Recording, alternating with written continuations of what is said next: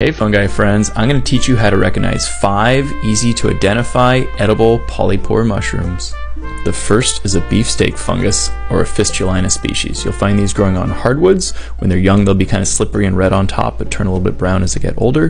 They have a very meaty look when you slice them open, but they have a nice light lemony flavor. The second is a cauliflower mushroom, or Sparassis species. They have sort of a ruffled fan-like appearance and absolutely amazing flavor and texture.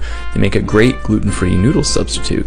The third is lion's mane or Hericium species. You'll find these growing on hardwoods. They have little teeth where the spores come off. They have an amazing texture and flavor and are a great replacement for seafood in vegetarian dishes. The fourth is the black staining polypore or Meripilus species. These grow at the base of dead trees and when you cut them they stain black, but they're really really good when they're young.